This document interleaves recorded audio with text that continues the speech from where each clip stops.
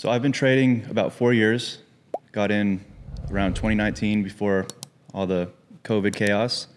And I had my introduction through social media.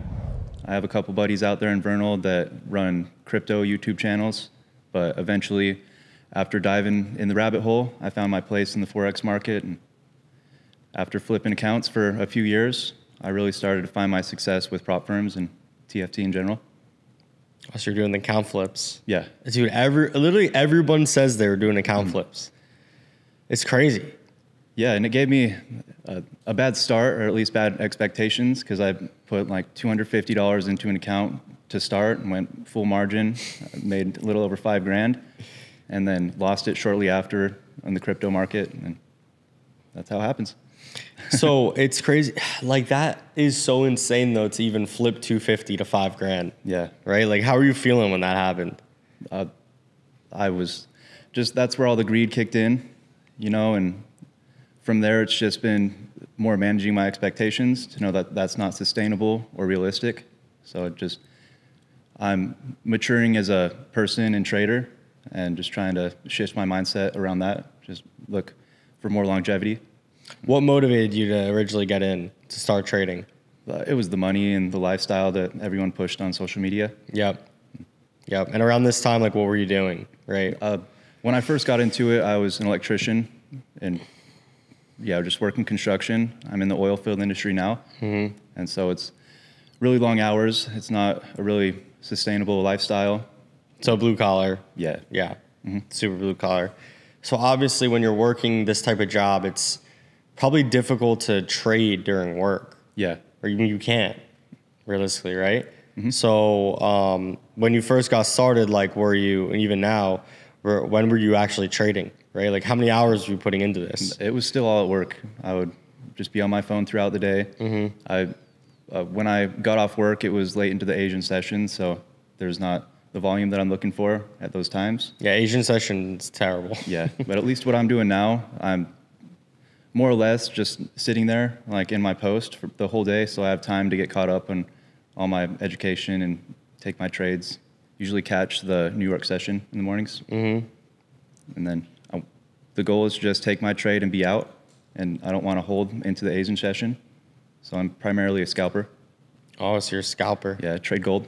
Okay, fair enough. Oh, we were talking a a little bit about this at dinner. Yeah. So scalping on TFT obviously isn't ideal, right? There's a lot of there's spread, there's slippage, there's commissions, right? How do you manage to to scalp, and what broker do you use? Uh, I was using Eightcap. I guess there's been changes that they don't offer them on the 100K account anymore.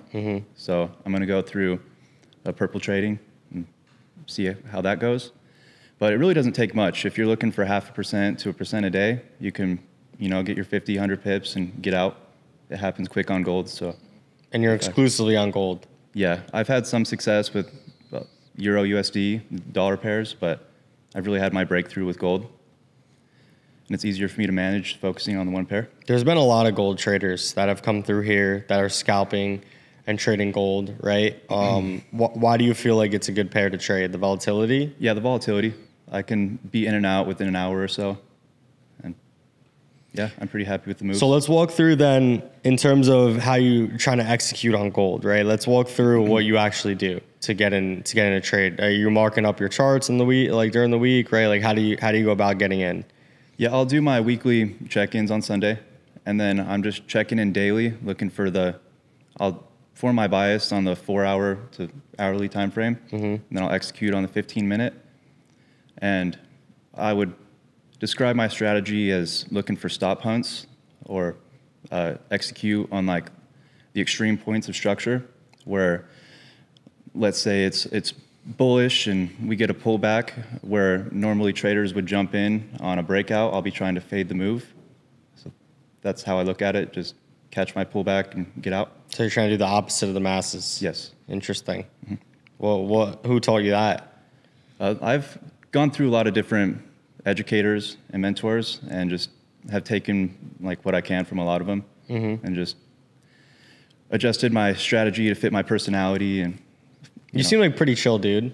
for the most part. Yeah, you I- seem like pretty calm. yeah, just Pretty chill. Yeah, I guess stress management would be a big thing with work and stuff because yeah, when you have all that extra stimulation and stuff going on, it's not, you know, ideal for a scalper. Mm-hmm. So it would be cool to be a little bit more isolated. Have you tried other strategies besides scalping? Uh, yeah, a little bit, kind of intraday. And usually, I'm trying to transition more into an intraday swing trader because Mm-hmm. To capture like more of the move. yeah, a lot of the time I'll get in early and then I just take my pips and get out, and I'll watch the market continue in my direction. like so much in your yeah, direction. and that sucks. Like. Because you're like make a thousand bucks, you're like, damn, this could have been six K. Mm-hmm.